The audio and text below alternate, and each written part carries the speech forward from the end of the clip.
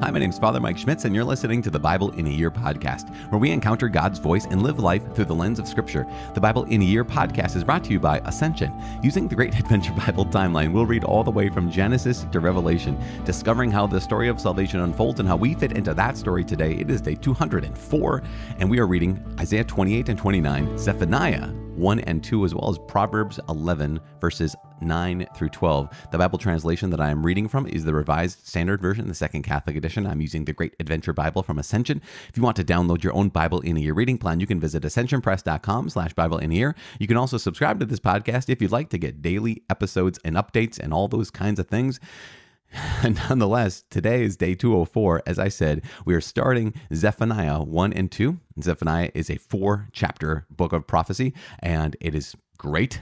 You're going to love it, um, as well as Isaiah 28 and 29 and Proverbs 11, verses 9 through 12. The book of the prophet Isaiah, chapter 28. Warning to Jerusalem. Woe to the proud crown of the drunkards of Ephraim and to the fading flower of its glorious beauty, which is on the head of the rich valley of those overcome with wine. Behold, the Lord has one who is mighty and strong, like a storm of hail, a destroying tempest, like a storm of mighty overflowing waters. He will cast down to the earth with violence. The proud crown of the drunkards of Ephraim will be trodden under foot, and the fading flower of its glorious beauty, which is on the head of the rich valley, will be like a first ripe fig before summer when a man sees it, he eats it up as soon as it is in his hand. In that day, the Lord of hosts will be a crown of glory and a diadem of beauty to the remnant of his people, and a spirit of justice to him who sits in judgment, and strength to those who turn back the battle at the gate. These also reel with wine and stagger with strong drink. The priest and the prophet reel with strong drink. They are confused with wine. They stagger with strong drink. They err in vision. They stumble in giving judgment.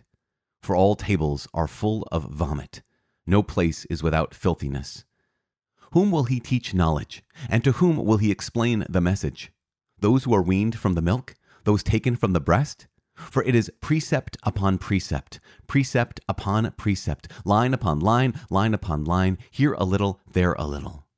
No, but by men of strange lips and with an alien tongue, the Lord will speak to this people, to whom he has said, This is rest. Give rest to the weary, and this is repose. Yet they would not hear. Therefore, the word of the Lord will be to them precept upon precept, precept upon precept, line upon line, line upon line, here a little, there a little, that they may go and fall backward, and be broken, and snared, and taken. Therefore, hear the word of the Lord, you scoffers, who rule this people in Jerusalem. Because you have said, We have made a covenant with death, and with Sheol we have an agreement. When the overwhelming scourge passes through, it will not come to us, for we have made lies our refuge, and in falsehood we have taken shelter. Therefore, thus says the Lord God Behold, I am laying in Zion for a foundation a stone, a tested stone, a precious cornerstone of a sure foundation. He who believes will not be in haste, and I will make justice the line, and righteousness the plummet. And hail will sweep away the refuge of lies, and waters will overwhelm the shelter. Then your covenant with death will be annulled, and your agreement with Sheol will not stand. When the overwhelming scourge passes through, you will be beaten down by it. As often as it passes through, it will take you. For morning by morning it will pass through, by day and by night and it will be sheer terror to understand the message. For the bed is too short to stretch oneself on it, and the covering too narrow to wrap oneself in it. For the Lord will rise up as on Mount Perazim. He will rage as in the valley of Gibeon. To do his deed, strange is his deed, and to work his work, alien is his work. Now therefore, do not scoff, lest your bonds be made strong. For I have heard a decree of destruction from the Lord God of hosts upon the whole land. Give ear and hear my voice. Listen and hear my speech. Does he who plows for sowing plow continually? Does he continually open and harrow his ground? When he has leveled its surface, does he not scatter dill, sow cumin, and put in wheat in rows, and barley in its proper place, and spelt as the border? For he is instructed rightly. His God teaches him. Dill is not threshed with a threshing sledge, nor is a cart wheel rolled over cumin but dill is beaten out with a stick, and cumin with a rod. Does one crush bread grain? No, he does not thresh it forever. When he drives his cartwheel over it with his horses, he does not crush it. This also comes from the Lord of hosts. He is wonderful in counsel and excellent in wisdom. Chapter 29 The Siege of Jerusalem. Ho Ariel, Ariel, the city where David encamped. Add year to year, let the feasts run their round. Yet I will distress Ariel, and there shall be moaning and lamentation, and she shall be to me like an Ariel. And I will encamp against you round about, and will besiege you with towers, and I will raise siege works against you. Then deep from the earth you shall speak. From low in the dust your words shall come. Your voice shall come from the ground like the voice of a ghost, and your speech shall whisper out of the dust. But the multitude of your foes shall be like small dust, and the multitude of the ruthless like passing chaff. In an instant, suddenly, you will be visited by the Lord of hosts, with thunder and with earthquake and great noise, with whirlwind and tempest and the flame of a devouring fire. And the multitude of all the nations that fight against Ariel, all that fight against her and her stronghold and distress her, shall be like a dream, a vision of the night. As when a hungry man dreams he is eating and awakes with his hunger not satisfied, or as when a thirsty man dreams he is drinking and awakes faint, with his thirst not quenched so shall the multitude of all the nations be that fights against Mount Zion. Stupefy yourselves and be in a stupor, blind yourselves and be blind. Be drunk, but not with wine, stagger, but not with strong drink.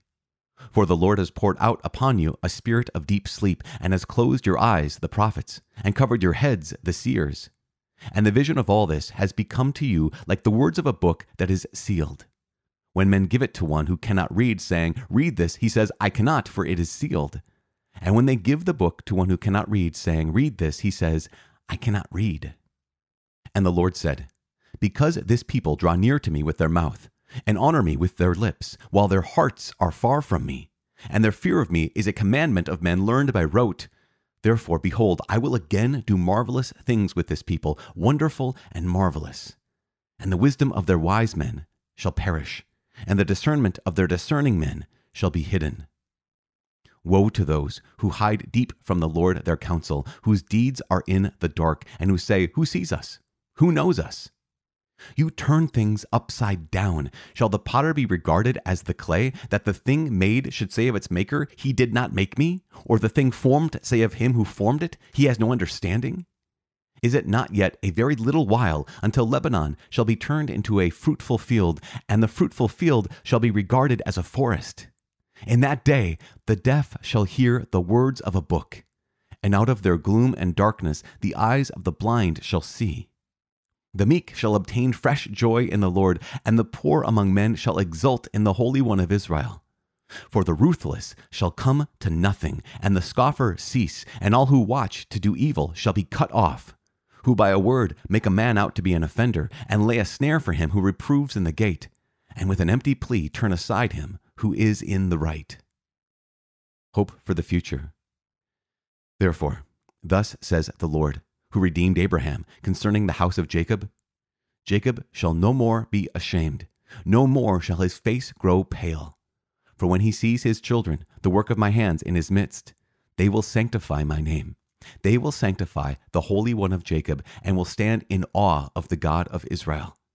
And those who err in spirit will come to understanding, and those who murmur will accept instruction. The Book of Zephaniah, chapter 1 The Day of the Lord. The word of the Lord, which came to Zephaniah, the son of Cushi, son of Gedaliah, son of Amariah, son of Hezekiah, in the days of Josiah the son of Amon, king of Judah. I will utterly sweep away everything from the face of the earth, says the Lord. I will sweep away man and beast. I will sweep away the birds of the air and the fish of the sea. I will overthrow the wicked. I will cut off mankind from the face of the earth, says the Lord.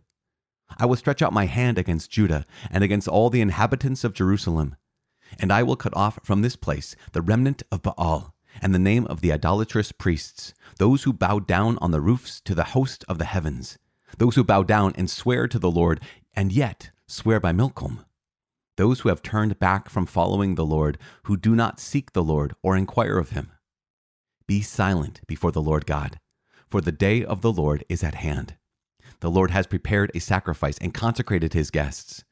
And on the day of the Lord's sacrifice, I will punish the officials and the king's sons and all who clothe themselves in foreign attire.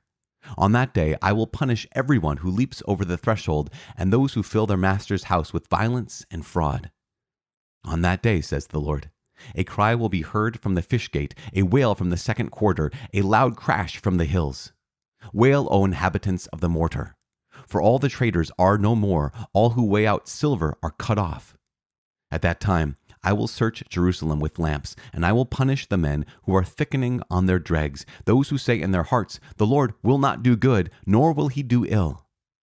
Their goods shall be plundered, and their houses laid waste. Though they build houses, they shall not inhabit them. Though they plant vineyards, they shall not drink wine from them. The great day of the Lord is near, near and hastening fast. The sound of the day of the Lord is bitter. The mighty man cries aloud there.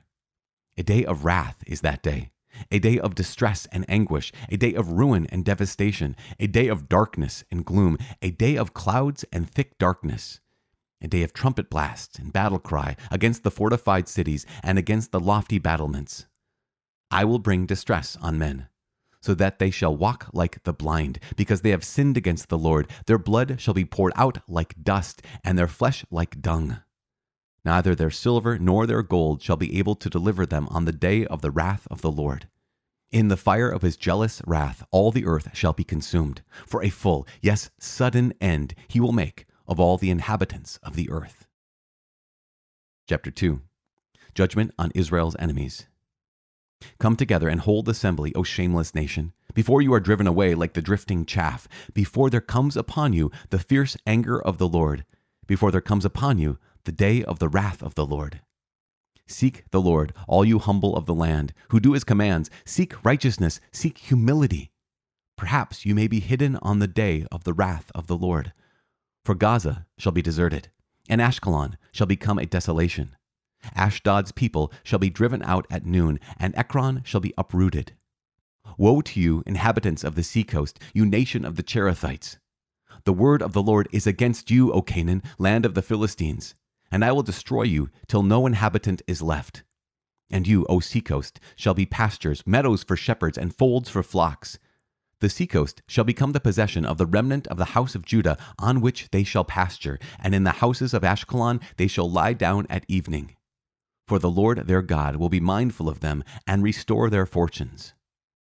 I have heard the taunts of Moab, and the revilings of the Ammonites, how they have taunted my people and made boasts against their territory. Therefore, as I live, says the Lord of hosts, the God of Israel, Moab shall become like Sodom, and the Ammonites like Gomorrah, a land possessed by nettles and salt pits, and a waste forever. The remnant of my people shall plunder them, and the survivors of my nation shall possess them. This shall be their lot in return for their pride, because they scoffed and boasted against the people of the Lord of hosts. The Lord will be terrifying against them. Yes, he will famish all the gods of the earth, and to him shall bow down each in its place all the lands of the nations. You also, O Ethiopians, shall be slain by my sword. And he will stretch out his hand against the north and destroy Assyria, and he will make Nineveh a desolation, a dry waste like the desert. Herds shall lie down in the midst of her, all the beasts of the field. The vulture and the hedgehog shall lodge in her capitals. The owl shall hoot in the window, the raven croak on the threshold. For her cedar work will be laid bare. This is the exultant city that dwelt secure, that said to herself, I am, and there is none else. What a desolation she has become, a lair for wild beasts. Everyone who passes by her hisses and shakes his fist.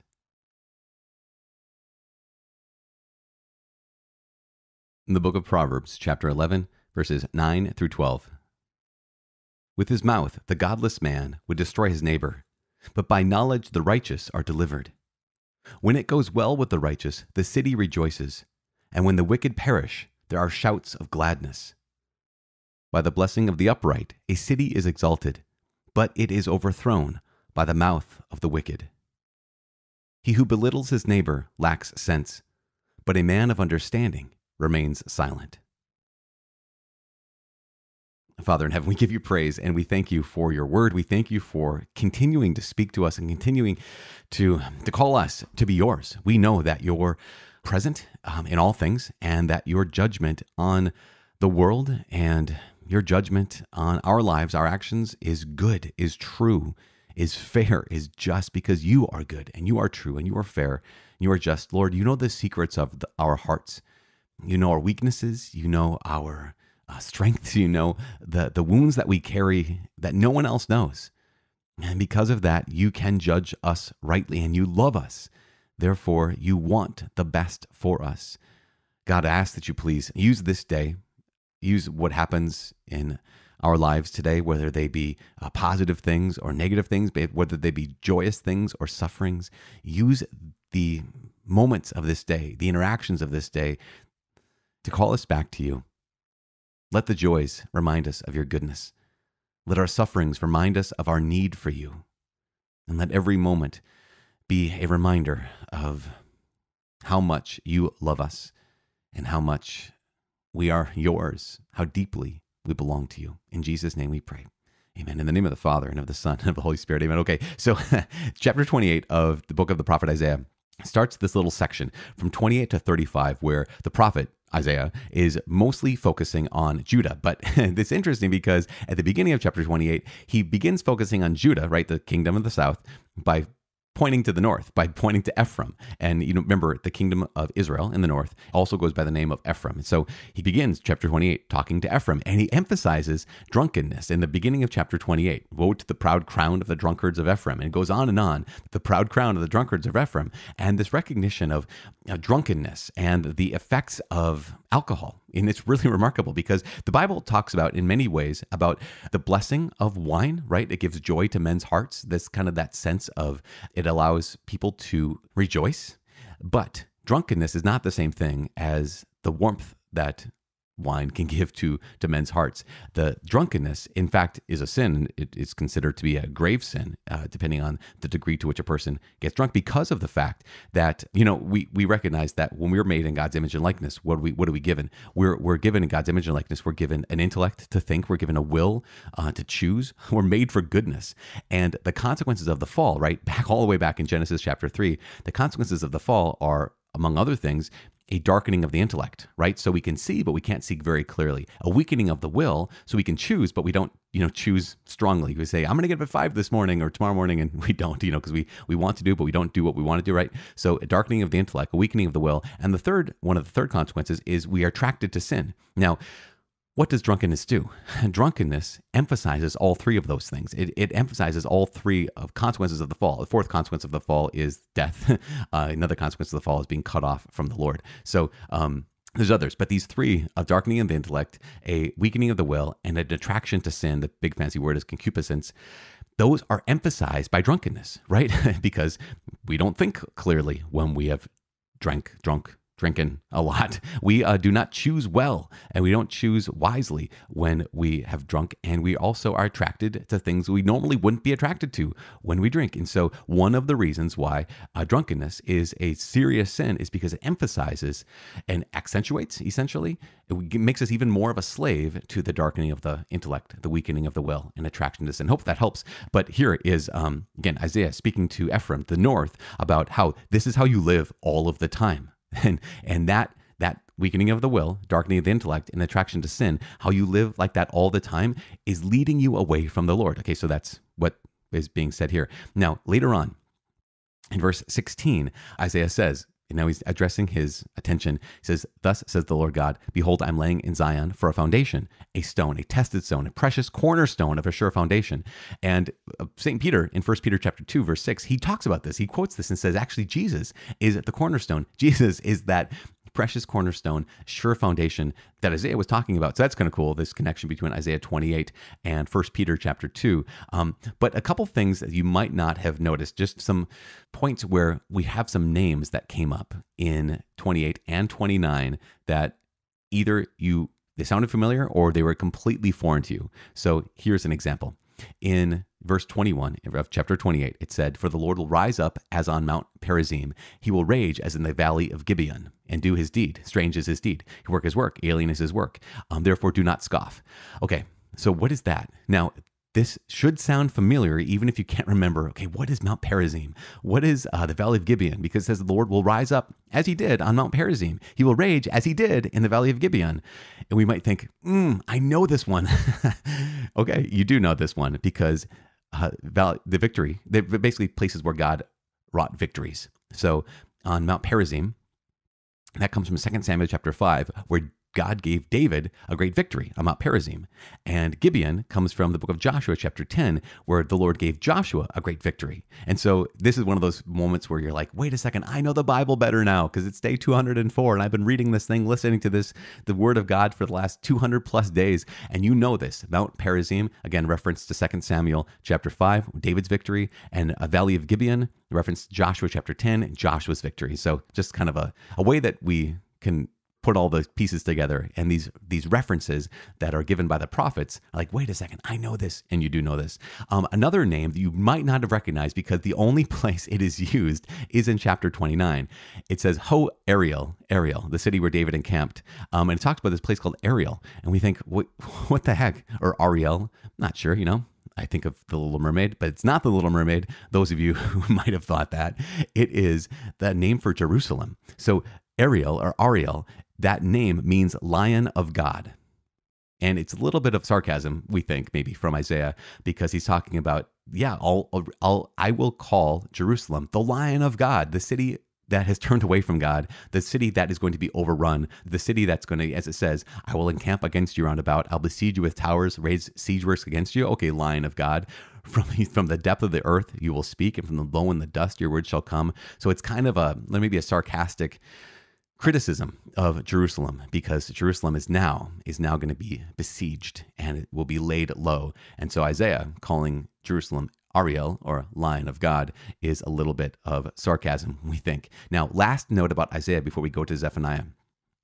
At the end of, you know, that the gap between we're talking about the Mount Perazim and Valley of Gibeon and Ariel is the end of chapter 28. And it might, again, this is one of those times where the words of the prophets can be like, oh my gosh, what the heck? Where he says things like, um, does he who plows for sowing plow continually? Does he continually open and harrow his ground? When he has leveled its surface, does he not scatter dill, sow cumin, and put in wheat in rows and barley in its proper place and spelt as the border for he is instructed rightly his god teaches him we think wait a second why how do we go from god will have this victory like he did in mount perazim in the valley of gibeon to all of a sudden here's a lesson in farming um, because it goes on. Dill is not threshed with a threshing sledge, and nor is a cartwheel rolled over cumin. But dill is beaten out with a stick, and cumin with a rod. And thank you for the farming lesson, Isaiah. What are you talking about? And one of the things he's talking about, again, once we slow down a little bit and pick it apart, we realize here is what Isaiah is pointing to. He's saying a farmer, he doesn't only plow.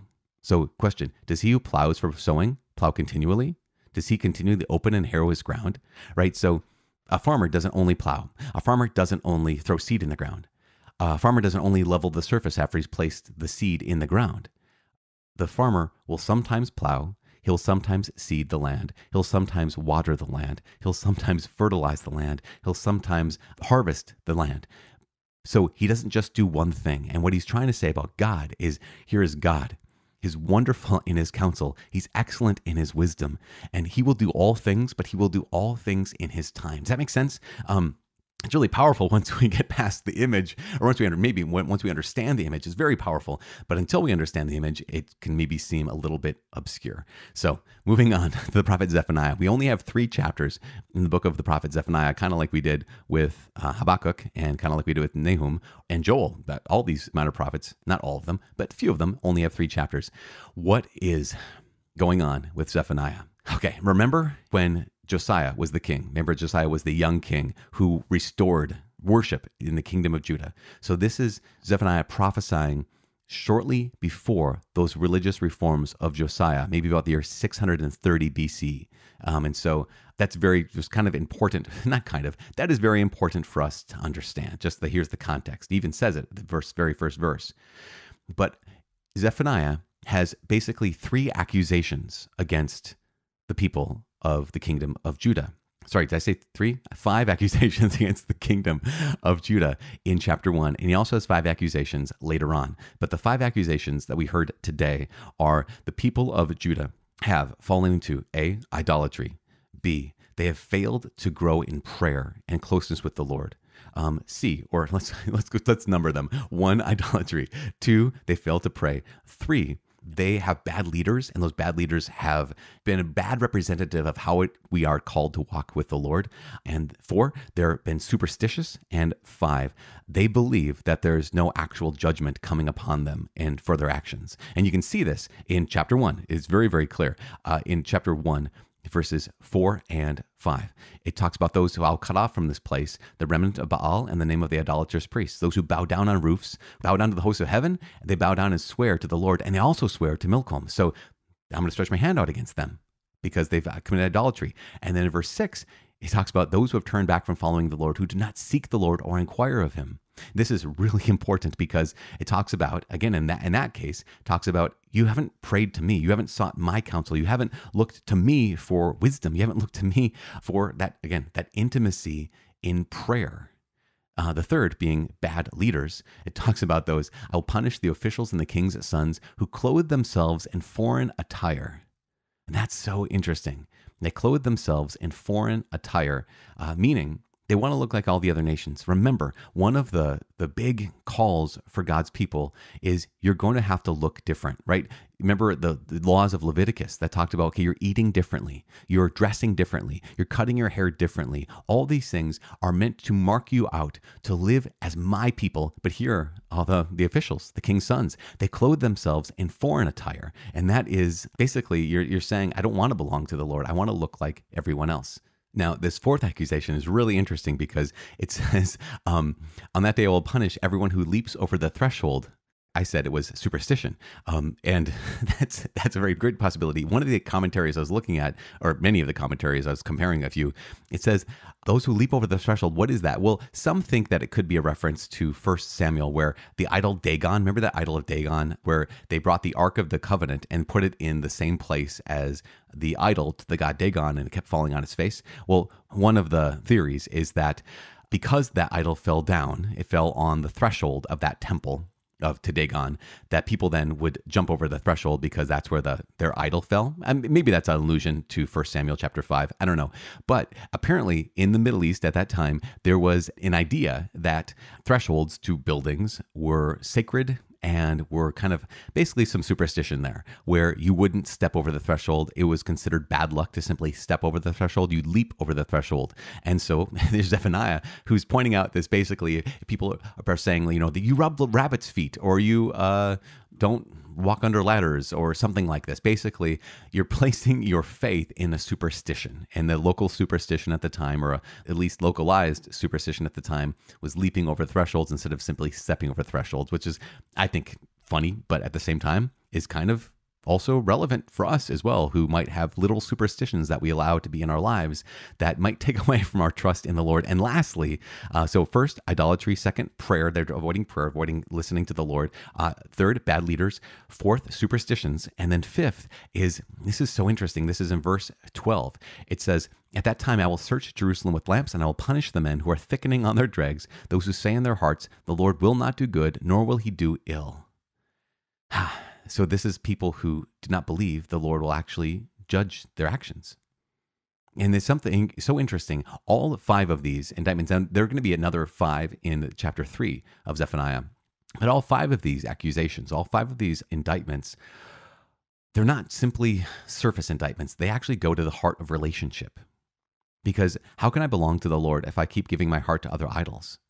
How can I how can I actually be in relationship with the Lord if I don't actually seek his voice and spend time in prayer? How can I belong to the Lord if those who are leading us and I'm acting like those leaders uh, are dressing like people who don't even belong to the Lord? They they want to fit in, they want to look like everyone else. How can I belong to the Lord if I'm acting out these superstitions of the pagan people around me? And how can I belong to the Lord if I don't actually think that he is real and he's present and he's active in my life? And that's just so so important. Now, chapter 2 talks about how God will have judgment on Israel's enemies. And he names five different kinds of people the Philippians, or sorry, the Philistines, the Moabites, Ethiopians, and the Assyrians. But there is a powerful, powerful moment where um, God says, Yeah, the day of the Lord is going to be coming. And pray that perhaps seek righteousness. This is verse 3 of chapter 2.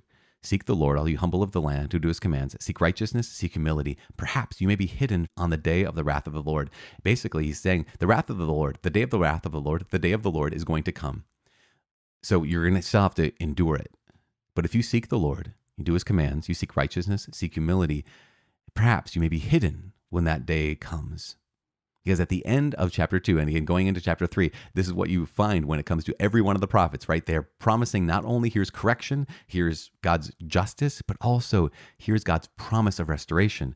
He says in chapter two, Judah, the remnant of my people, shall plunder them, and the survivors of my nation shall possess them, meaning the enemies, that there shall be, even though there's judgment coming, even though there's a there's a justice coming, there will be a remnant, and that remnant will be victorious. They'll, that remnant will experience God's promise and God's goodness. And this is so important for us because we also are waiting, right? We also are facing enemies. We're also facing the battle of the spiritual battle between dark and light, between God and the, the powers and principalities of this earth.